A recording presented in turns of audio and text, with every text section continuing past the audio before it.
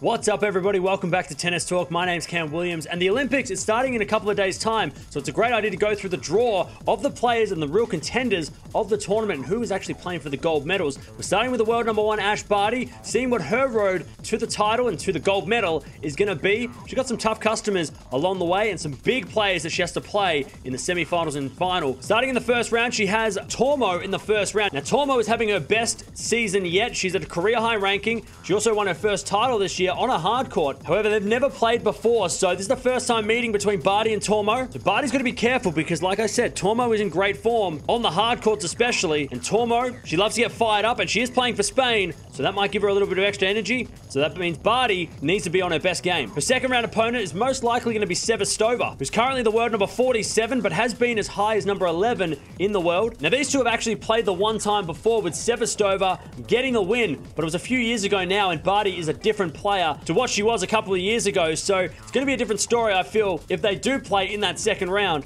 But again, Barty's got to be on her guard because Sevastova has had some of her best results on hard courts, especially at the slams. The US Open being the big one where she made a semi-final there a few years ago. So Barty, she's got to be careful against Sevastova. Her third round opponent, going by the seeds, is most likely going to be the French Open finalist and number 13 seed in this event, Pavlyuchenkova, who's starting to reach her career best form. She's made multiple quarterfinals at the US Open and Australian Open, which is on the same surface as what we're playing here. So, got to be careful, Barty. Also, 3-3 is the head-to-head -head record between these two, so it's split right down the middle. They played a lot against each other, and it's a very even matchup. So Barty, again, she better be playing her best, otherwise Pavlyuchenkova could cause an upset. Barty does make it into the quarterfinals. She's probably going to be playing against the French Open champion Krejcikova. Is actually in a lot of form as well, because not only is she at a career high ranking at number 11, she also just won her first hardcourt title in singles at the Prague Open two weeks ago. So she is on a roll in form and a winning streak. So Barty does play the French Open champion on a hard court, could be difficult. They did play a couple of weeks ago on the grass. That's the only time they've ever met. And Barty got the win at Wimbledon. Of course, Barty went on to win the title. But Krejcikova, since then, has gone away, won a title on hard court. So that could be a very difficult matchup for Barty if she does play Krejcikova in that quarterfinal. Barty makes it into the semifinals. She has to play against one of the biggest hitters in the game. The number three seed, Sabalenka, who has been in great career best form for the entire year.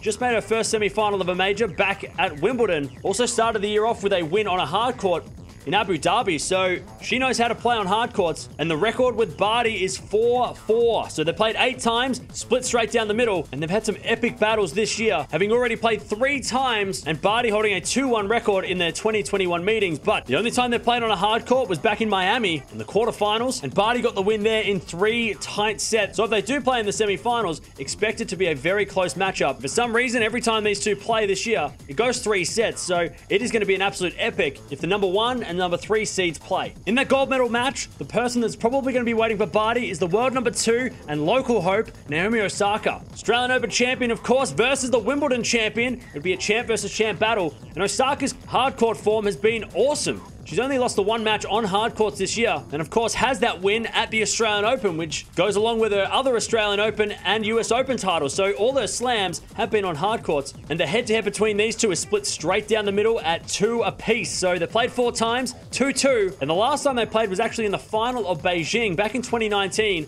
Barty was world number one at the time, and Osaka got the win in three sets. So, very close matchup between these two, and haven't played for a couple of years. So, really intrigued if they do play for the gold medal, especially being in Japan. Will that hurt or help Osaka? But I expect it to go three sets if they do play in that final. So, there it is the road to gold for Ash Barty. Let me know down in the comments below. What are her chances? She is the favorite going in. Probably equal favorite with Osaka, I would expect, because Naomi Osaka is looking pretty good as well, especially on hard courts in 2021. But again, let me know down in the comments below. How far can Barty go? Will she win the gold medal? Or will she even just get a medal maybe? She might just get the bronze medal. Remember, players that lose in the semi-finals play each other for the third place trophy, which is the bronze medal. Do you think Ash Barty can get a medal this year? And if so, can it be gold? So there it is, the road to the gold medal for Ash Barty. Very tricky situation. A lot of tough tough players to play.